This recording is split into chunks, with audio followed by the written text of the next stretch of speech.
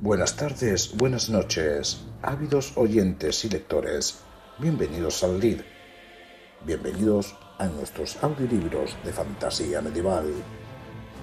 Por favor, no olvides sumarte al canal, suscribirte, darle a la campanilla y, lógicamente, al like, ya que nos ayuda a crecer y nos ayuda a seguir creando contenido para vosotros. Bien, id cruzando igual. Ahorraremos tiempo. Brujo, ¿qué opinas?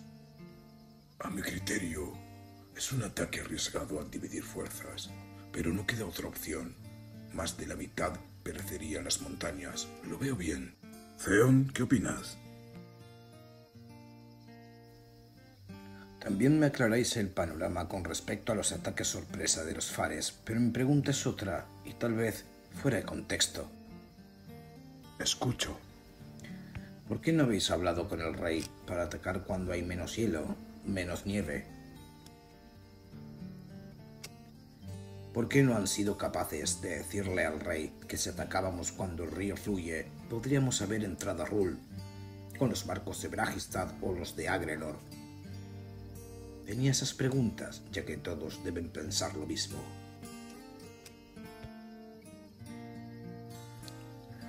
Te lo explicaré con sinceridad y sencillez. Nuestro rey no quería esperar ni inviernos ni veranos, ni lunas claras ni rojas. Eso les daría a las razas más posibilidades en sus defensas.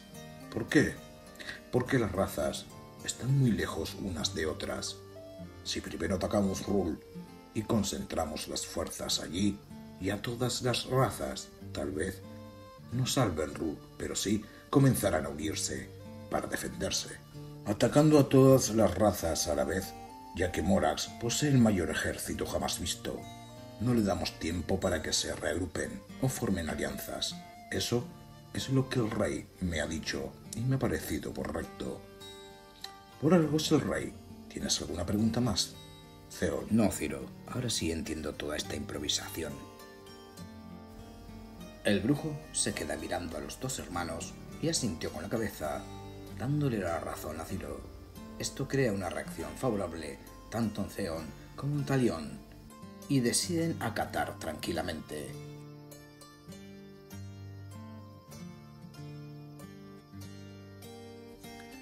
Bien, prosigamos. G. Me entusiasma oír vuestra explicación y también me alegra escuchar la solución. Milord, quiero ser uno de los que cruce el estrecho. Respondió el G.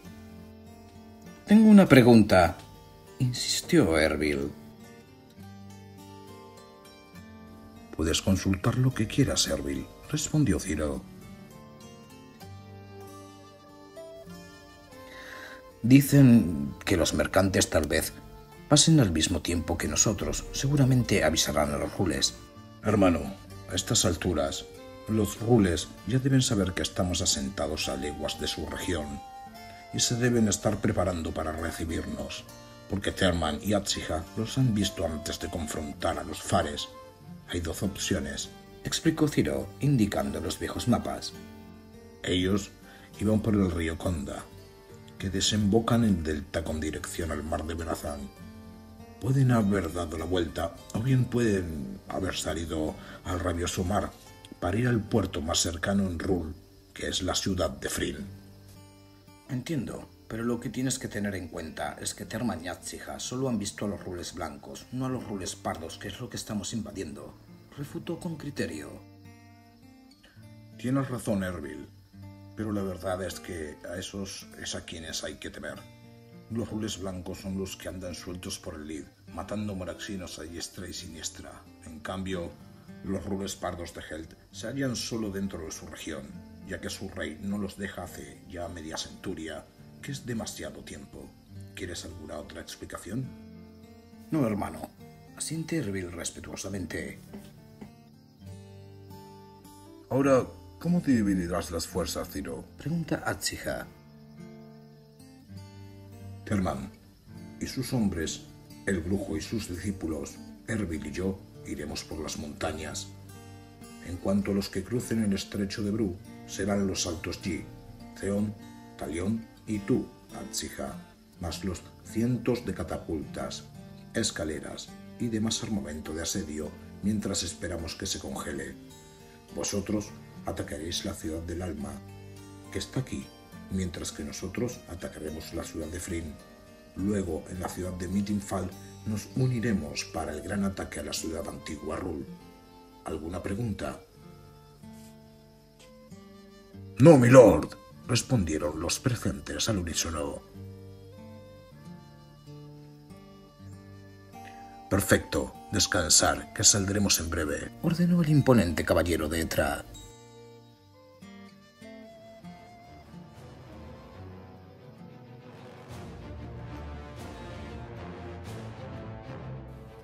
¿Qué pasa? ¿Todavía no os habéis sumado al lead fantasía medieval? ¿Qué es lo que esperas? Súmate al lead, súmate a esta fantasía y súmate a nuestro canal.